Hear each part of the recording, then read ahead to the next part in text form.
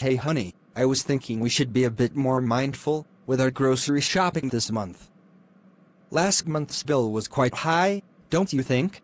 Yeah, I noticed that too. Maybe we got carried away with all those extra snacks and specialty items. Exactly. So I was thinking we could set a budget for ourselves this time. It'll help us stay on track and avoid overspending. That sounds like a good idea. How do you suggest we go about it? Well, first we can take a look at what we actually need versus what we want. Then, we can allocate a certain amount for each category. Okay, but how do we stick to it once we're in the store? It's easy to get tempted by all the displays and promotions. True. Maybe we can make a list beforehand, and try to stick to it as closely as possible.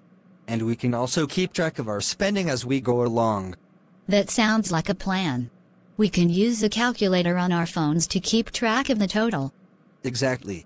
And if we find ourselves going over budget in one category, we can adjust accordingly in another. Agreed.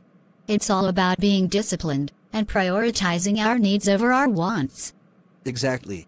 And I think if we can stick to this budget, we'll feel more in control of our finances overall. I think you're right. It'll also help us save more for other things we want to do or buy. Exactly. So, let's make a list and set our budget before we start filling up the cart. Sounds like a plan. Let's start with the essentials first and then see if we have any room left in the budget for extras. Agreed.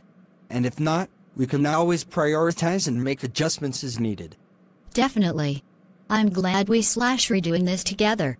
It feels good to be proactive about our finances. Absolutely. And I think it'll also help us appreciate the value of what we're buying more. Definitely. Okay, let's get started on that list. Should we start with fruits and vegetables?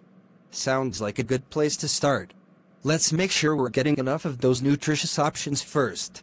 Agreed. And then we can move on to proteins and grains. Exactly. Let's tackle this one aisle at a time and stick to our budget. Sounds like a plan.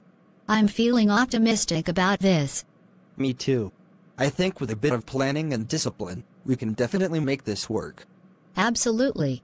And who knows, maybe we'll even end up saving more than we expect. That would be a nice hour. Okay, let's get started on that list. Should we start with fruit and vegetables? Sounds good. Let's grab a pen and paper and get to work. Great. And let's keep our budget in mind as we go through each items. Definitely. We've got this. Absolutely. Teamwork makes the dream work, right? Couldn't have said it better myself. Now, let's get to it.